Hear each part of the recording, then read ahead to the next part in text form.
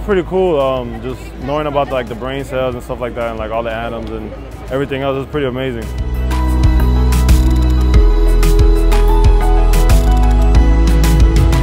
It was way better than expected. Like we did expect anything, but the light show inside was just stunning.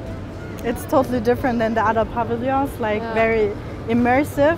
The, And, yeah, I think one of the best actually. Yeah. yes.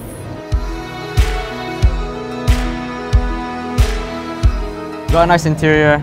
It's like There's a lot of technology. yeah.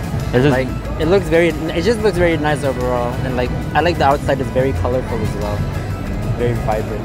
exactly. Yeah. And like it's I don't know. It really speaks to our modern age right now. Yeah, So yeah. speaks of a future Russia. actually the brain. When I walked in, I was telling my sister, I was like, is that a brain? Because like, Yeah. it's huge. And we were thinking about how innovative everything was.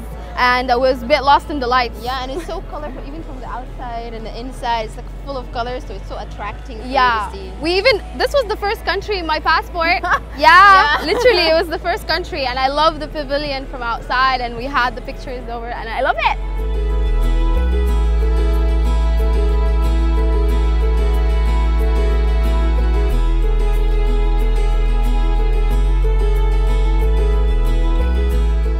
Нереальные впечатления. На самом деле это один из самых лучших павильонов, которые я сегодня видела. А были мы во многих. Поэтому я советую всем приезжать, бросать все свои дела и обязательно посетить Экспо 2020.